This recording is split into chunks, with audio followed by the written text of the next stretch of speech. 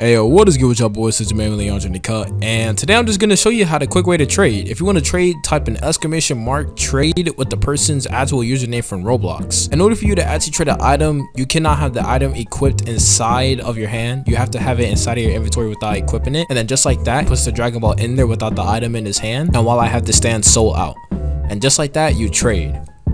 It's actually pretty simple and easy. I'm glad they actually add this trading feature now. I can finally trade. Hopefully they open up the trade in Discord soon. That's about it for today's video. Thank you guys for watching and see you guys in the next video.